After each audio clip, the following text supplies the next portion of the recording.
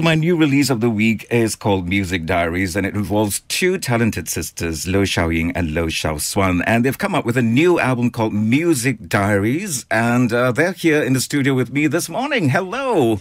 Hi, Andrew. Good morning. Good morning. Thank you for braving the jam and this indecent hour in the morning. and these compositions that are in Romance in the City, have you had like a stockpile of, of compositions that you have been composing for some years oh, before this came Oh, out, yes, right? yes, we actually When did did you start composing?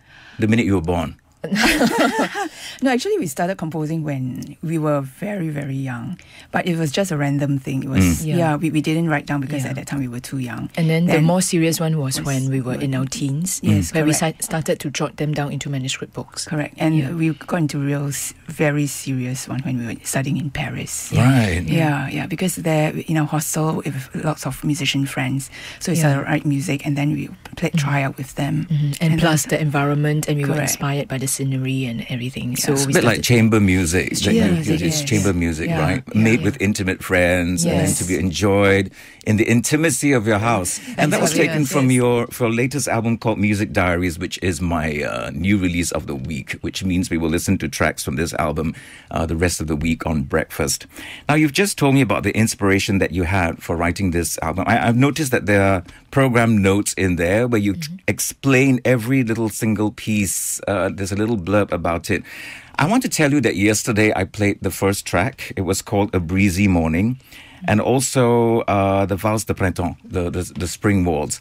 And immediately after I played that, I had a text from my sister, and she was on her way to work. And she said, You know what? I feel like turning back, going home, not going to work, call in sick, and just paint. Uh, she, she's an she's an artist, so she wanted to paint Wow. Because she she was so inspired by your music that she wanted to do that. so I yeah, so I told her I said, you know, it's it's weird because you sisters probably had a scene in mind when you actually composed this, and now she's doing it in reverse. She is listening to the music and she wants to paint a scene. Um, so I just want to tell you that that your music gives people inspiration. Yeah, that's, Oh, very that's good. nice, Yeah. Yeah. So I don't think my sister is unique in that sense. I think there are others who also feel the same way. Now, do uh, does a scene actually um, give you inspiration, or you take inspiration from any source? It can happen both ways. Sometimes Ah. the, the music will just come, and then once we have the music, we after writing the music, we'll sort of see an image. Mm.